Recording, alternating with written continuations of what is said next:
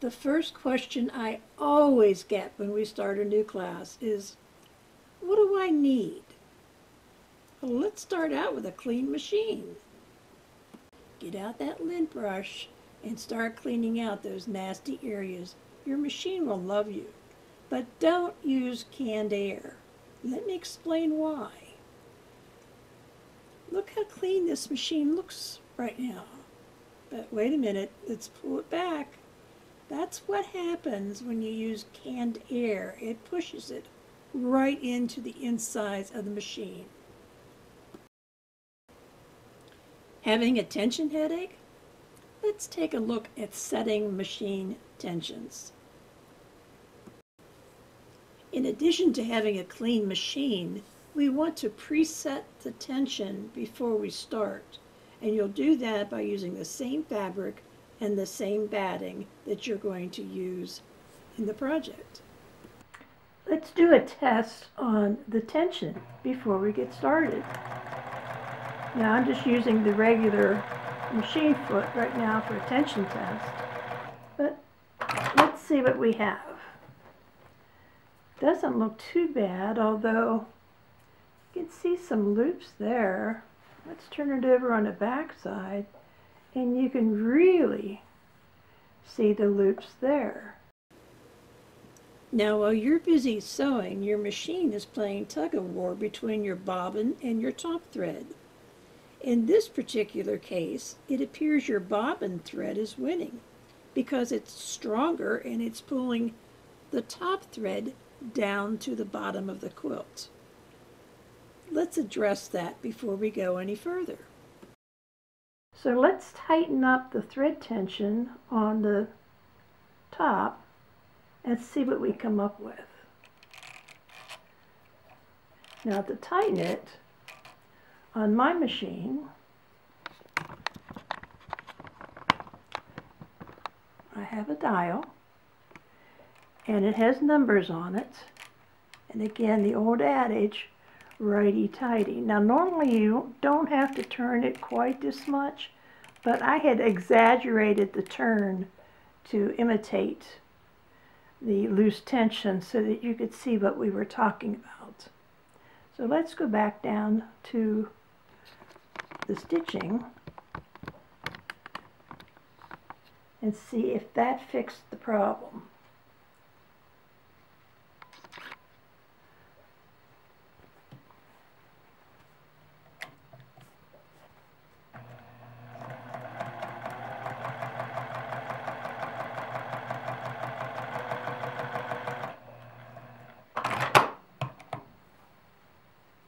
Now we have a more balanced stitch on the top.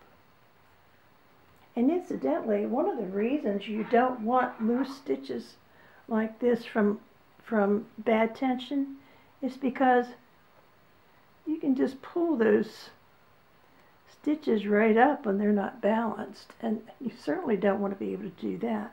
So now that we've adjusted our tension, let's turn it over and you can see that it's the same on the front as it is on the back. Nice and even, no loops. Now needless to say, if the bobbin thread was being pulled to the top, that would mean the opposite. That would mean that the upper thread is stronger, so therefore the tension on the top thread needs to be lessened so it doesn't pull the bobbin thread up. To loosen the top tension, turn your dial to the left. So in review, what we're looking for is a correct stitch where your upper and lower threads meet in the middle of your quilt sandwich. Now, depending on the type of machine you have, you're either going to have a dial tension adjustment, as shown in the top right photo, or you'll access your tension settings through your computerized display, as shown on the bottom right photo. If we go to this second scenario where your upper thread is too tight, you can see how it's pulling the bobbin thread up to the top. In this case, you want to lower the tension on your tension dial or on the screen. In the third scenario, you can see where the upper thread is too loose and it's being drawn down to the back of your quilt. When that happens, you need to increase your thread tension. One of the main differences between a domestic home machine and a sit-down quilting machine is the size of the bobbin. One is an L size, that's your domestic, and the sit-down quilter has an M size, which is larger. You also have a difference in adjusting tensions. I always start with the bobbin tension on my sit-down quilter and have yet to touch the bobbin on my domestic home machine. Adjusting the tension on my quilting machine on the bobbin area is very easy. There are two screws. You want to use your small screwdriver and turn the larger adjusting screw.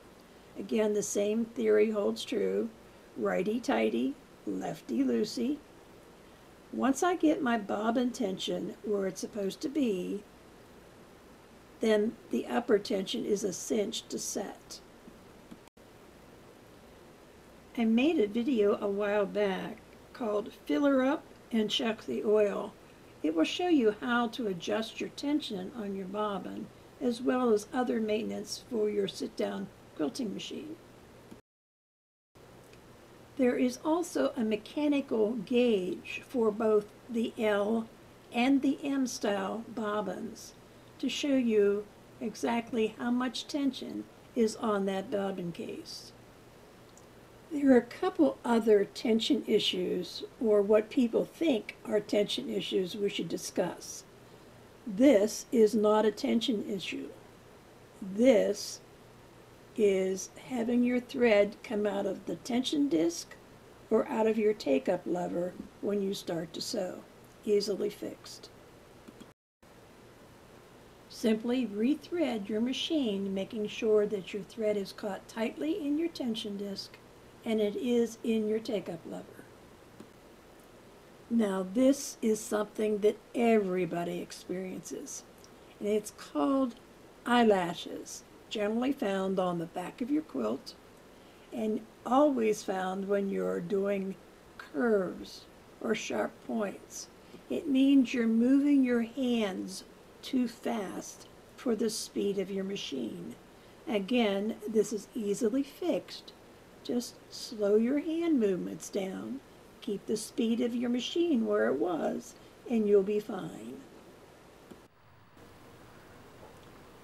In this slow motion video, you'll see how your threads interact with each other, both your upper thread, which is gold, and your bottom thread, which in this case is red. Take a look right here. That's the loop that's formed when it's stitching. And it continues to make those loops. And what you're trying to do is to make sure those loops are even on your quilts. One of the things that makes a difference is to make sure that you have a free motion quilting foot. Now I want you to watch this. It's going in slow motion and you can see how that foot works with the needle bar.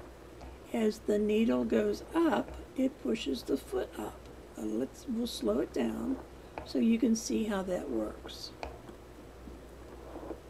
Now this is really an ingenious little foot with that spring bar. In order to form a perfect stitch, you do have to have something pushing down on your fabric to make the stitch. And when the foot comes down and it's making the stitch, you can see the foot is exactly down on the fabric. But when you're ready to move it, the bar comes up, the needle bar hits the foot, and it forces the foot up. So it's allowing the foot to go up and down, up and down to allow you to make free motion quilting stitches. Now this is something you very rarely see, but if you look at the throat plate on the machine that's on there right now, you'll see it has an elongated zigzag hole. If you change to a throat plate with a single hole for a needle, you'll find you get much nicer stitching and also fewer skipped stitches. Now, if you really want to get my dander up, let's talk about needles. We've had people tell us that they've had needles on their machine for a year. What? A needle is not meant to last as long as your sewing machine. A needle is lucky if it lasts the life of your project. They are inexpensive. If you buy them in bulk, they cost you about 25 cents a piece. Compare that to the cost of your fabric and batting and everything else. It's a cheap investment. But let me show you what that poor little needle has to do. Do you remember the loop that I showed you earlier in this video that was formed with your thread and bobbin threads? This is how this happens. See the gold thread? That's your top thread. And it wraps around the bobbin and connects with the bobbin thread. Let's watch that again. It gets caught up in a hook on your bobbin. It gets brought down below the surface, and here it comes. Watch it, there it is. And it's coming back up to the top.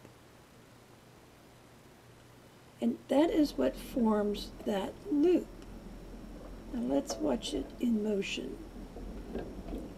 Now the bar that you're seeing up above the bobbin is actually the feed dogs moving. Right now I have them in the up position. And that's what happens when your feed dogs are up and you're stitching.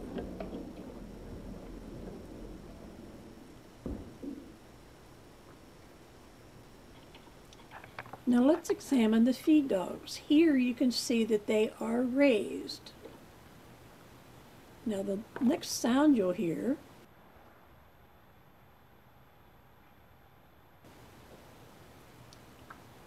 right there is the lowering of the feed dogs. And you saw how they did go down in the, the film.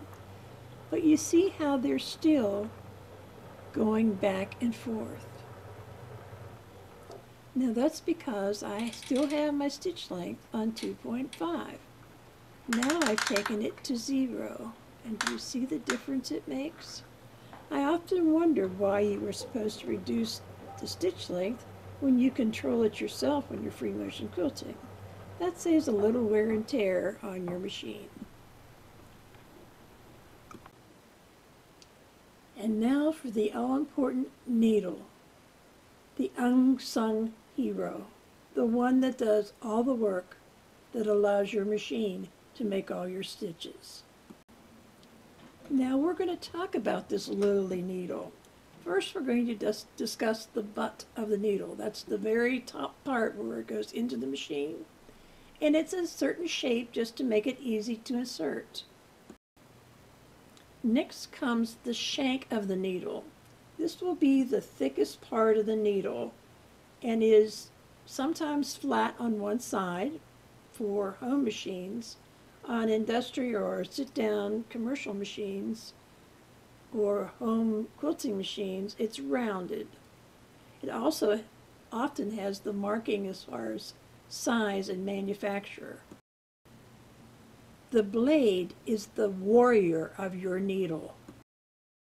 It's the one that takes all the abuse and the friction but at the same time does all the protection because it has a long groove down the front of the blade in which your thread is wrapped inside of as it passes through the multiple layers of your quilt top and your batting and your backing. So that blade protects it. And that groove leads right into the eye of the needle and at the very bottom of the blade is the tip.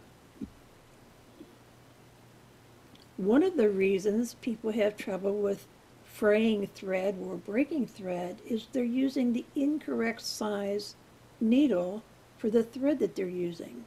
You want to make sure that your needle will accommodate the thickness of your thread so that it will be cradled in that groove. While the blade might be the warrior, the scarf of the needle is the hero.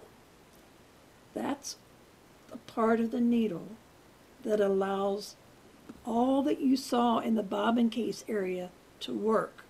That's the part that allows the loops to form, that allows your bobbin and top thread to form that loop. Without the scarf, the needle would just go in and out with nothing happening. Let's look at that a little bit closer. Have you ever thought to yourself, hmm, I wonder why there's that indentation on the back of my needle? Is that just to show me that's the back? Oh no, it does way more than that. So this is how our hero, the scarf, works. The needle penetrates down through the layers, and you can see how it, the thread is being hugged tight to the needle, both in the front, in that long groove, and in the back. Now as the needle starts to go back up to the top, you can see how the pressure on the thread on the back between the top and the scarf of the needle starts to swoosh that thread just a little bit. Now as the needle rises a little bit more, you can see that it forms a loop.